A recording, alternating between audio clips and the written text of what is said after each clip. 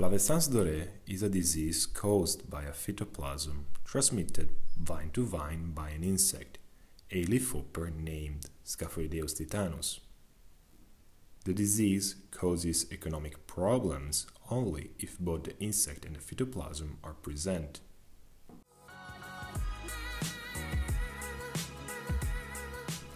Scaphoideus titanus life cycle is entirely on the vine. It lives, eats, and reproduces on the lower part of the leaf. Scaphoideus titanus has just one generation per year. It overwinters as an egg below the bark and then in the middle of the spring it hatches. After five juvenile forms, it becomes an adult, which is the only form able to fly. The eggs do not hatch at the same time, so in the same vineyard you can sometimes find both adults and juvenile forms. And so you have to be careful on the insecticide treatment timing. Adults are the most responsible for the disease spreading because, since they can fly, they are the form that moves the most in the vineyard.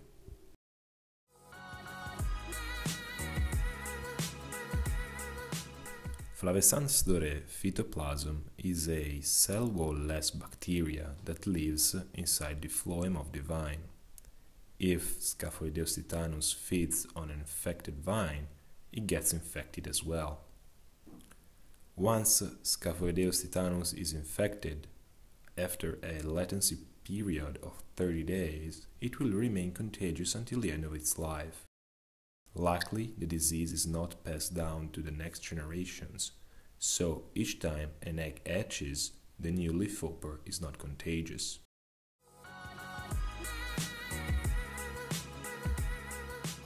Today we are going to see how the monitoring of Scaphoideus titanus works.